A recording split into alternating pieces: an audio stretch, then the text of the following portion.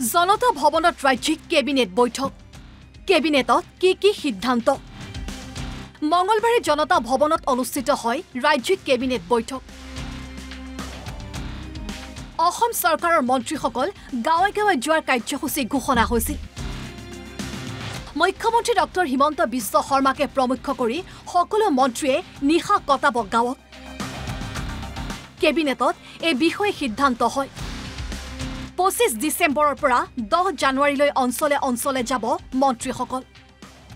এগৰাকী মন্ত্ৰী কমেও পাঁচদিন থাকিব গাঁৱত। পঁচিছ ডিচেম্বৰ যিটো আমি গুড গভৰ্নেন্স ডে বুলি কওঁ আমাৰ শ্ৰদ্ধাৰ প্ৰাক্তন প্ৰধানমন্ত্ৰী অটল বিহাৰী বাজপেয়ী ডাঙৰীয়াৰ জন্মদিন। সেই দিনটোকে আমি গুড গভৰ্নেন্স ডে হিচাপে পালন কৰোঁ। আৰু সেই গুড গভৰ্নেন্স ডেৰ পৰা পঁচিছ ডিচেম্বৰৰ পৰা দহ জানুৱাৰীলৈকে এই পষেকটোৰ ভিতৰত আমাৰ সকলো মন্ত্ৰী ন্যূনতম পাঁচ দিনকৈ বিভিন্ন অঞ্চলত থাকিবৰ কাৰণে যাব। মন্ত্ৰীসকল কোন কোন অঞ্চললৈ যাব? কেনেকৈ নিৰ্ধাৰণ হ'ব মন্ত্ৰীৰ কাৰ্যসূচী? ৰাজ্যখন পাঁচটা মণ্ডলত ভাগ কৰা হ'ব। প্ৰতিটো মণ্ডলত এজন মন্ত্ৰী কমেও এদিনকৈ থাকিব। আমি পাঁচটা জোন বনোৱা হৈছে যে প্ৰত্যেকটা জোনতে প্ৰত্যেকগৰাকী মন্ত্ৰী এদিন হ'লেও যাব লাগিব। যেনেকৈ উজনি অসমৰ এটা জোন বনোৱা হৈছে ঠিক তেনেদৰে নামনি অসমৰ ex excluding B T R এটা জোন বনোৱা হৈছে নৰ্থ বেংকৰ এটা জোন বনোৱা হৈছে বৰাক ভেলী আৰু হিলছ ডিষ্ট্ৰিক্টৰ এটা জোন বনোৱা হৈছে আৰু এটা বি টি আৰৰ জোন বনোৱা হৈছে। গতিকে এই পাঁচটা জোনত প্ৰত্যেকগৰাকী মন্ত্ৰীয়ে এদিন এদিন গৈ থাকিব লাগিব আৰু তেওঁলোকে তাত নিশা কটাব। সকলোৰে লগত কথা পাতিব। গতিকে প্ৰত্যেকগৰাকী মন্ত্ৰীয়ে পাঁচটা জোনত এটা এটা দিন থাকিব লাগিব। দুৰ্গা পূজাৰ বতৰত ডক্টৰ হিমন্ত বিশ্ব শৰ্মাৰ চৰকাৰে গ্ৰহণ কৰিছে আন এক গুৰুত্বপূৰ্ণ সিদ্ধান্ত।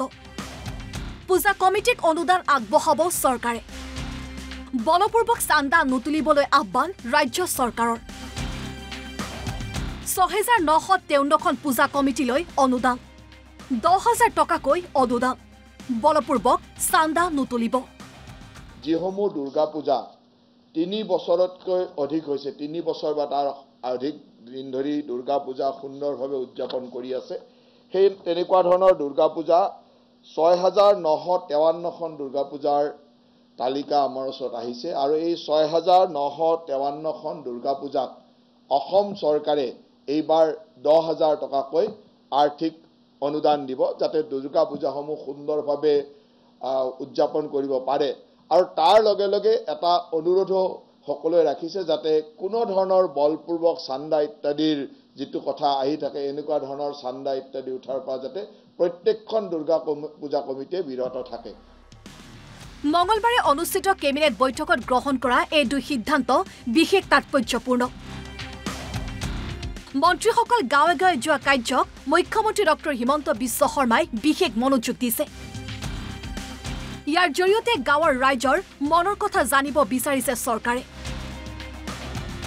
Bureau report N B News.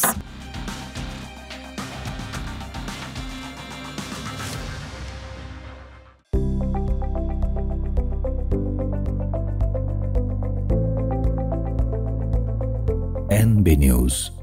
সহজ সৰল ভাষাত নৱভাৰতৰ কথা।